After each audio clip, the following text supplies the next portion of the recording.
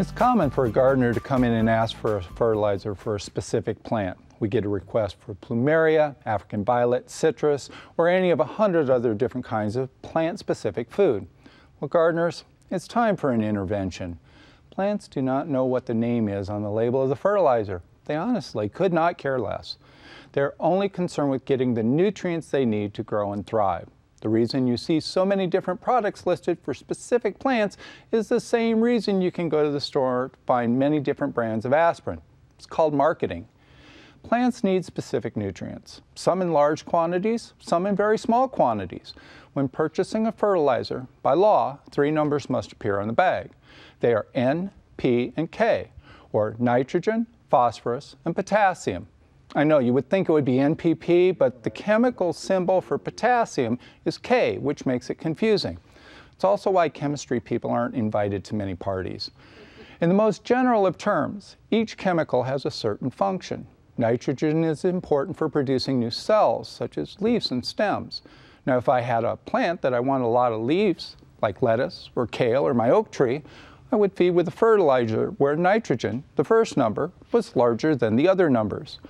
Phosphorus is necessary for the production of flowers and fruit roots. So, to make my rose bloom, or to produce large tomatoes, I would make sure there was more phosphorus available. Potassium is like a blood pressure medicine.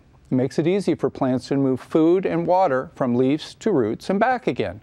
That makes potassium an important nutrient during drought or cold conditions.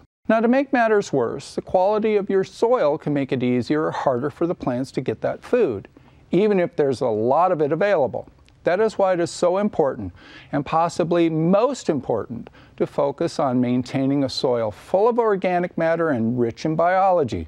This makes it so much easier for the plant to take up the nutrients it needs.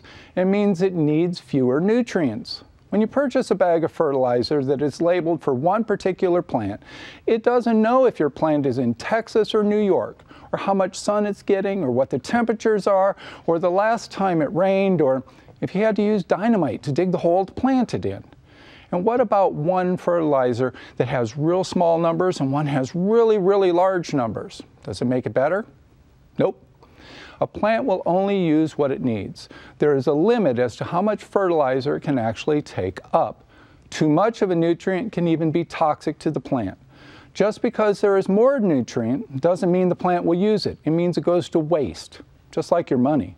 You feed when the plant needs food, not because someone put a schedule on that particular plant on the bag. It's easier to find fertilizer formula for a specific plant. Don't let it distract you. The right nutrients for the plant should be based on what the plant needs at the time, not what's on the label. Where the plant is growing, what its environment is like, what you are looking to encourage it to do are the most important factors to take into account. The focus should be the big picture, not just small part of it. For Backyard Basics, my name's Jeff Ferris.